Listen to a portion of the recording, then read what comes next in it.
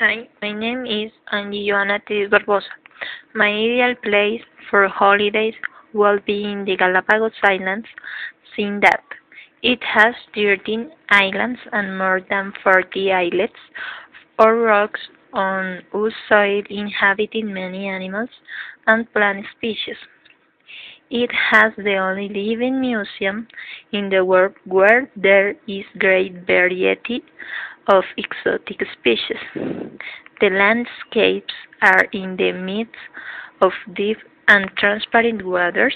There are beaches of white sand.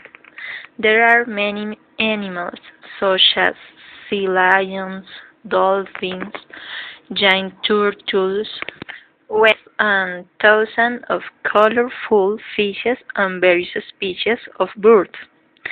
There are trails of recreational hiking that cross the vegetation full of cactus, thickets, and mangroves.